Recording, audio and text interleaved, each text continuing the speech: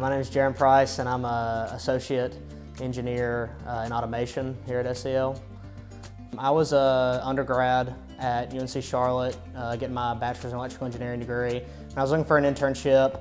Um, SEL actually came out to what we call is, uh, we have an engineering picnic, which is basically just a giant engineering career fair. And as soon as I talked to him, I turned to someone else and said, hey, we need to go interview this kid. Our primary function is we invent, we design, we manufacture, and we build um, electronic products that, simply put, help keep the lights on, as Dr. Schweitzer, our founder, would say.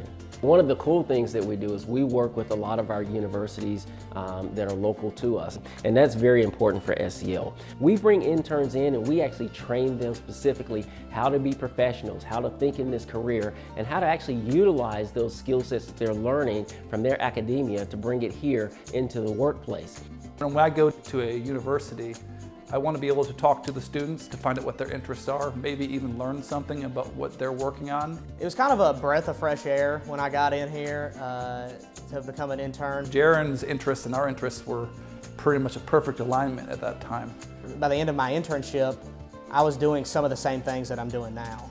They want you to do work that is going to help you learn and grow and prepare you for what you're going to do in the future.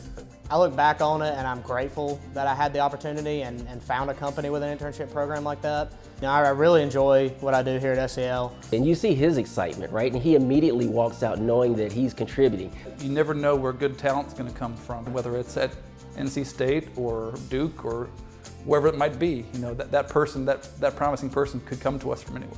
If you want to have a successful internship program, you have to have someone who's going to be the champion, who's going to own the program, but the universities are sitting there waiting for people like us to give them a call and say, hey, we want to be able to recruit and utilize your talent to be able to add to your education that you're providing to these young people. There are many, many high level schools here um, that has rich talent that if you don't capture that talent, someone else will. Think of it this way your competitor will. I'd rather have that talent working for me than working for that competitor.